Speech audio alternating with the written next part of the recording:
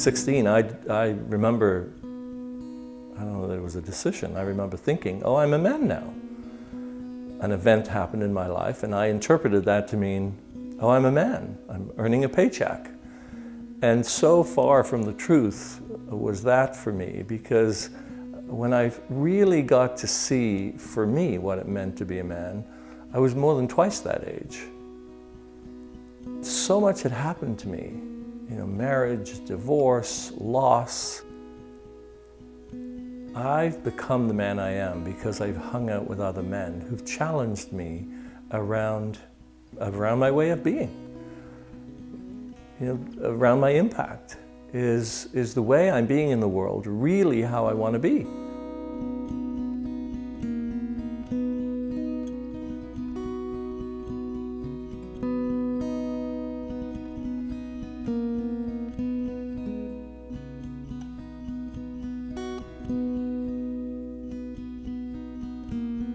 Introduce me to your friends and I'll tell you who you are. You know, if you have men in your life who will challenge you, who will actually call you forth when you say you're going to do something and you screw up, those are good men to have in your life.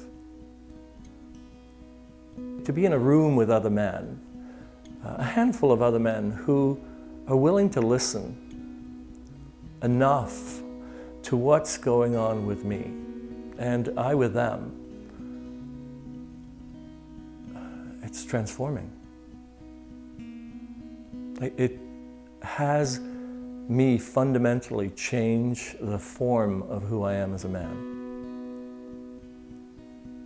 Like I can say things and actually believe some of what comes out of my mouth. And it's not real.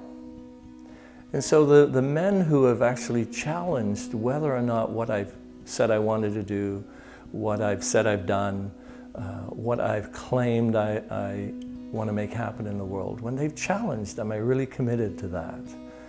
You know, am I willing to do whatever it takes? They have so served me to have me see what's real for me, what's an illusion and what's real. I can't do that by myself. None of us can.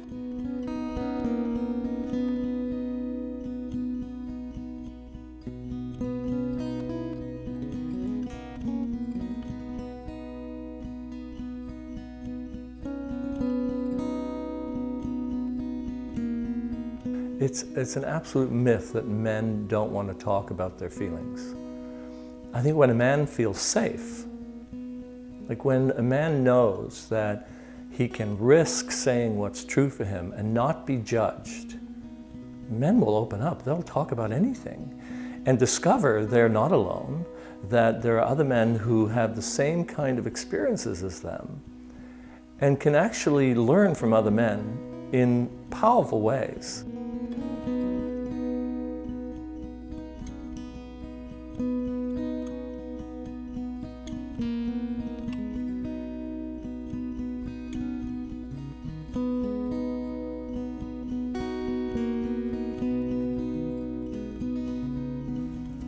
When a man knows that he's fully loved by another man, I mean accepted, that's what I mean by love, like really accepted for who he is, I think uh, it frees him up from the neediness to have to get love from women, like to have to get love from women.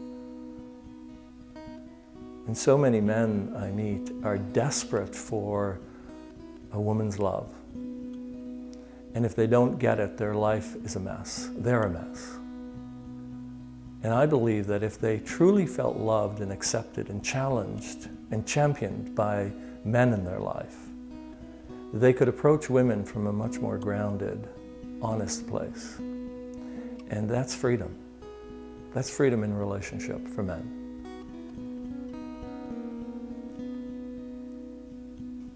We run from responsibility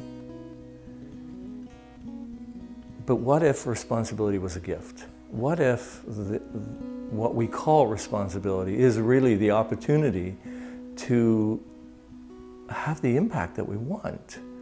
Like that we really, that speaks to us at a profound level